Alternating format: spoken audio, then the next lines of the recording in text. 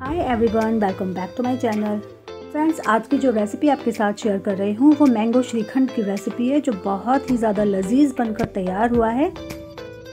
और दही में आम मिला देना ही मैंगो श्रीखंड बनाना नहीं होता है, बल्कि एक प्रोसेस मैं आज आपके साथ शेयर करूँगी, जिसकी वजह से ये इतना ज़्यादा क्रीमी और स्मूथ बना है, आप इसका टेक्स्चर देख ही सकते हैं।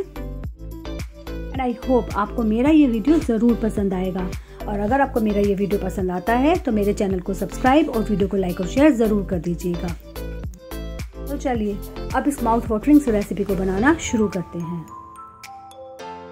और बहुत ही ज़्यादा सिंपल सी इसकी रेसिपी है तो यहाँ पर श्रीखंड बनाने के लिए मैंने एक आम ले लिया है। तो मैं यहाँ पर बड़े आम का यूज़ कर रही हूँ, आप चाहें तो दो छोटे आम भी ले सकते हैं। तो इसको अच्छे से वॉश करने के बाद में अब हम इसको कट करेंगे।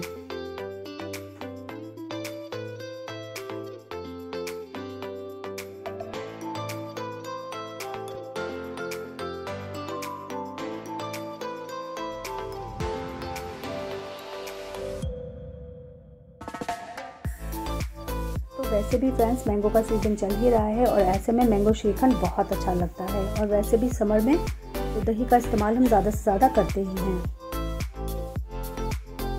और इसका ये जो सारा हमने पल्प है, वो उसको निकाल देंगे इस तरीके से।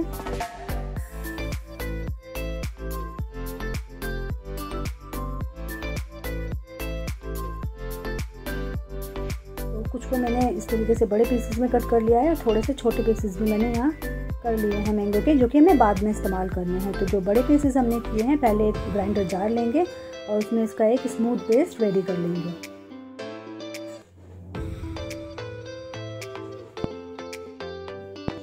तो ये लीजिए, आम का हमने एक स्मूथ पेस्ट रेडी कर लिया है। आप देख भी सकते हैं। और अब यहाँ पर हम लेंगे दही। तो यहाँ पर मैं आधा किलो दही का इस्तेमाल कर रही हूँ। यहाँ पर जिस दही का इस्तेमाल कर रही हूँ मैं वो एकदम फ्रेश दही है और अब इसको ऐसे ही हम इस्तेमाल नहीं करेंगे। तो सबसे पहले यहाँ पर हम एक मजलिन क्लॉथ लेंगे और उसमें इस दही को डालकर अच्छे से निचोड़ लेंगे ताकि जो इसमें का पानी होता है दही का, वो सारा निकल जाए।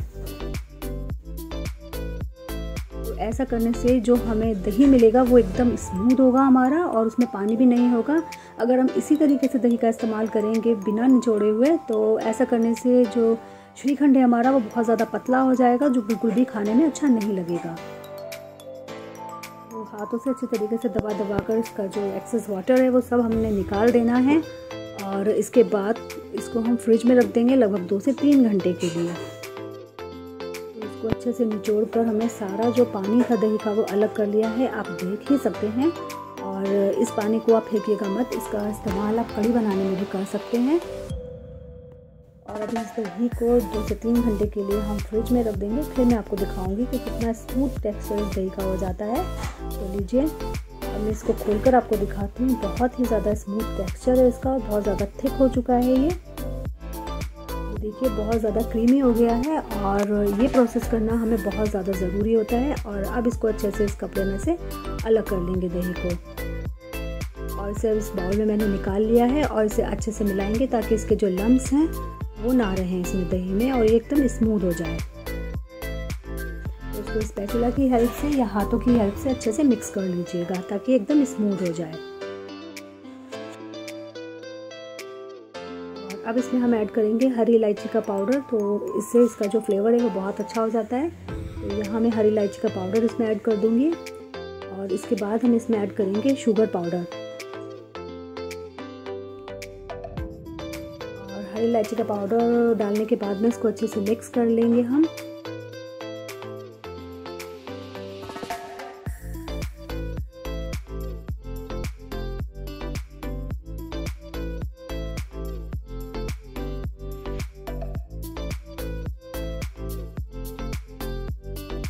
अब इसमें ऐड करेंगे शुगर पाउडर। तो यहाँ पर मैं थ्री टेबल स्पून के अराउंड शुगर पाउडर ऐड कर रही हूँ। आप चाहें तो अपने जायके के अकॉर्डिंग भी इसको ऐड कर सकते हैं और इसको अच्छे से मिक्स कर लेंगे। तो डिपेंड करता है कि आप जो, जिस आम का इस्तेमाल आप कर रहे हो, वो कैसा है। अगर वो ज़्यादा तेज़ मीठा है तो शुगर आप कम ऐड कीजिएगा। और अब जो हमने आम को ग्राइंड करके रखा था, उसका पेस्ट भी इसमें ऐड कर देंगे। और इन सभी चीज़ों को अच्छे से अब हमने बस मिक्स करना है। अब ये जो हमने कुछ मैंगो के चंक्स अलग किए थे तो उनको भी इसमें डाल देंगे, क्योंकि ये बहुत अच्छे लगते हैं इस तरीके से श्रीखंड में, और अब बाद में इनको मिक्स कर लेंगे अच्छे से। तो चलिए, श्रीखंड तो हमारा रेडी हो चुका है, अब इसको सर्व कर लेते हैं। तो यहाँ पर मैंने दो छोटे छोटे कांच के ग्लासेस लिए हैं, इसके अंदर ही हम इन्हें सर्व करेंगे। तो मैं इसको पोर कर दूँगी इन ग्लासेस के अंदर। आई फ्रेंड्स, आपको ये ज़रूर पसंद आएगा और अगर आपको ये रेसिपी पसंद आती है तो मुझे कमेंट्स में भी ज़रूर बताइएगा कि आपको ये रेसिपी कैसे लगी। तो लीजिए ग्लासेस में तो पौर हमने इसको कर दिया है, अब इसको थोड़ा सा गार्निश कर देंगे। तो यहाँ पर मैं थोड़े से मैंगो चंक्स का इस्तेमाल कर रही हूँ। इसको इसके ऊपर डाल देंगे।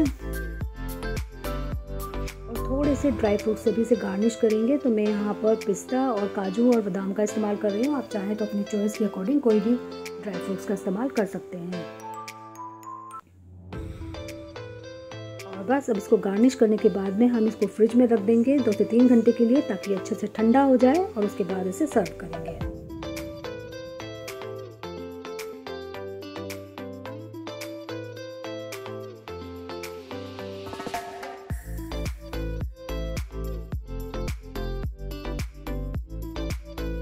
ये लीजिए फ्रेंड्स हमारा ठंडा ठंडा मैंगो श्रीखंड एकदम खाने के लिए तैयार है। आई होप आपको मेरी ये रेसिपी ज़रूर पसंद आएगी। अगर आपको मेरी ये रेसिपी पसंद आती है तो मेरे चैनल को सब्सक्राइब और वीडियो को लाइक और शेयर ज़रूर कर दीजिएगा और मुझे मेरे फेसबुक पेज पर भी फॉलो ज़रूर कीजिएगा। तो चलिए मिलते हैं अपनी नेक्स्ट वीडियो में। Thanks for watching bye